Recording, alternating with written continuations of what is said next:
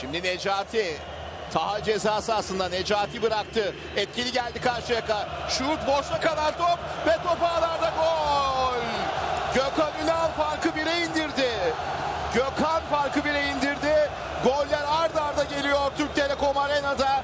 Sevinme sırası şimdi Karşıyakalı futbolcularda. Karşıyaka taraftarında. İşte golcü golcü vuruşu. Gökhan arka direkte saklanmış. Dönen kaleciden topu gol yaptı. İşte golcü vuruşu bu. 28. dakikada 2-1 oldu. Karşıyaka bir geldi bir geldi. İlk çok adamlı etkili hata.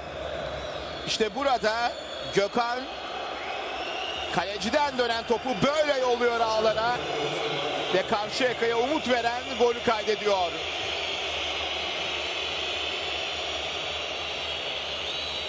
Necati